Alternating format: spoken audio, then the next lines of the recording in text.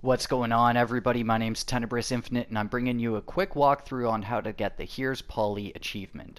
You're going to want to head into the hedge maze at Biertonet Hotel and take an immediate right all the way down to the end of the pathway. After that you're going to want to take your first left and head straight through. Then you're going to want to take another left and turn right. Then you're going to want to walk diagonally through the hedge maze here to reach the middle. And once you've reached the middle, you're going to want to head to the very end. Once you're at the end, take a left, then take a right, and on your immediate left here will be Pauli himself. Thanks for watching.